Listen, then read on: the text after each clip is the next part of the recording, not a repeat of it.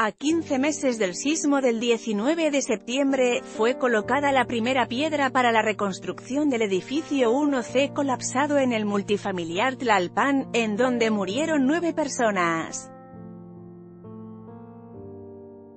El nuevo edificio, que contará con seis niveles y albergará 40 departamentos de 44 metros cuadrados cada uno, se pagará con recursos del Fondo de Reconstrucción y las obras serán supervisadas por el Instituto de Vivienda INVI. CDMX con la presencia de al menos 50 personas y del comisionado de reconstrucción, César Cravioto, los representantes de la constructora colocaron la primera piedra de la obra. Después se llevó a cabo una misa en donde un sacerdote dio la bendición a este inmueble que se convirtió en el símbolo de los damnificados de la Ciudad de México. Por su parte, Cravioto aseguró que las personas que lo perdieron todo, regresarán a sus hogares. Además, informó que revisarán los contratos de la administración pesada y si hay alguna irregularidad apoyarán a los ciudadanos.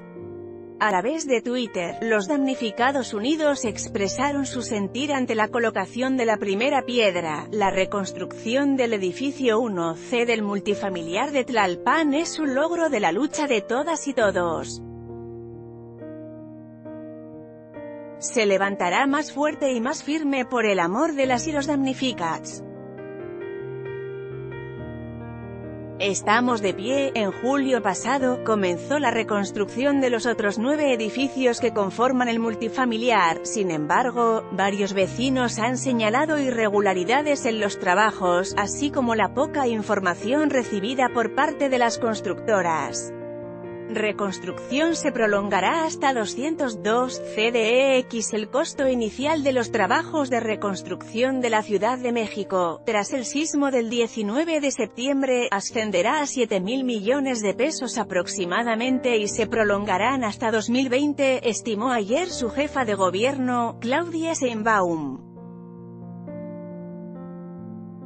Al presentar el programa de reconstrucción, ratificó que su administración no reedificará mansiones de 20 millones de pesos y que su proyecto se basa en la igualdad y equidad, por lo que solamente se financiará la rehabilitación de viviendas de 65 metros cuadrados sin costo para las familias.